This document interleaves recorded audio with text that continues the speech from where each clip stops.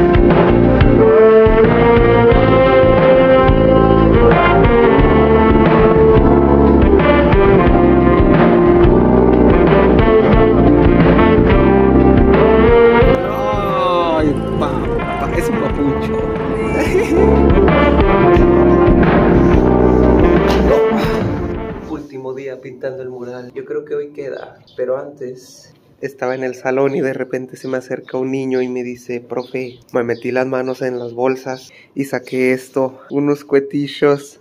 Dice, pues desde Navidad los traigo ahí, me sobraron de los que troné y ya no los troné. Y me dice, y esta chamarra me la pongo todos los días, pero apenas ahorita me metí la mano a la bolsa y ahí los tenía. Y le digo, no, no, no, véngase, démelos, ¿para qué trae usted esto? Y me dice, sí, tenga, profe, de todas maneras ni los quería, por eso se los doy. Y yo, ay, no, los papis que ni les checa nada. Vamos a explotarlos, ¿ok? Número uno.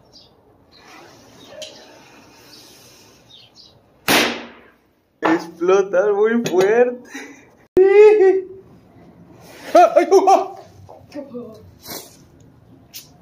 Que cebollita.